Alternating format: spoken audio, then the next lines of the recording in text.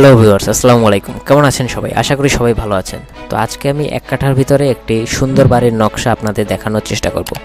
তো চলুন আমরা দেখে নিই আমাদের গ্রাউন্ড ফ্লোর প্ল্যান তো প্রথমে আমাদের রয়েছে ground floor plan ground floor প্ল্যানের দৈর্ঘ্য হচ্ছে তিরিশ ফুট এবং প্রস্থ হচ্ছে চব্বিশ ফুট পাঁচ ইঞ্চি।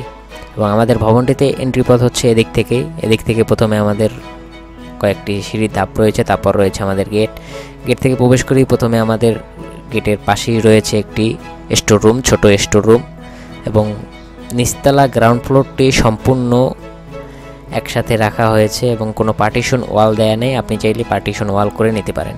তো আমাদের ড্রয়িং রুমের জন্য স্পেস রাখা হয়েছে এগারো ফুট চার ইঞ্চি বাই পনেরো ফুট এবং ডাইনিং রুমের জন্য স্পেস রাখা হয়েছে দশ ফুট বাই বারো ফুট এবং কিচেনের জন্য স্পেস রাখা হয়েছে তেরো ফুট বাই বারো ফুট। আজকাল এভাবেই তৈরি হচ্ছে অহরহ অনেক ডিজাইন। কিচেনের সাথে ডাইনিং রুম এবং ড্রয়িং রুম একসাথে কোনো পার্টিশন ওয়াল থাকে না। তো আপনার যদি একান্তই প্রয়োজন পড়ে তাহলে আপনি পার্টিশন ওয়াল কিচেনের জন্য করে নিতে পারেন এবং ডাইনিংয়ের জন্য আলাদাভাবে পার্টিশন ওয়াল করে নিতে পারেন। এবং নিচতলায় আমাদের একটি কমন টয়লেট রয়েছে, যা রয়েছে সিঁড়ির নিচ থেকে।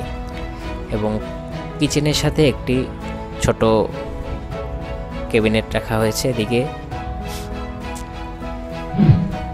এবং আমাদের দ্বিতীয় তলায় ওঠার জন্য সিঁড়ি রয়েছে এদিক থেকে।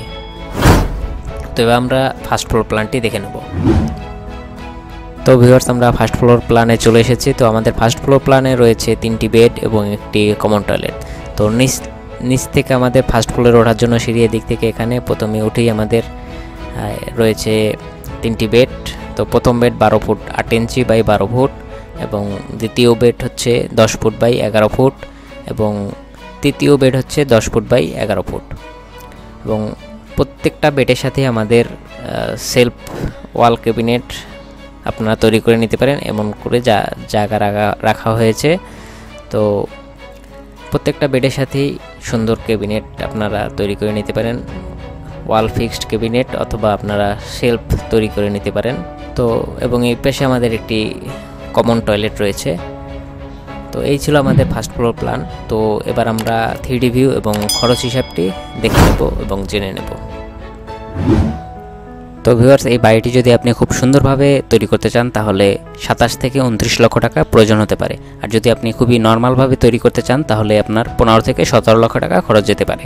তো আজকে ভিডিও এই পর্যন্ত ছিল। তো ভিডিওটি শেয়ার করে সবাইকে দেখার জন্য সুযোগ করে দিবেন। তো দেখা হচ্ছে নতুন কোনো এপিসোডে তো সেই পর্যন্ত ভালো থাকবেন, সুস্থ থাকবেন। আল্লাহ হাফেজ।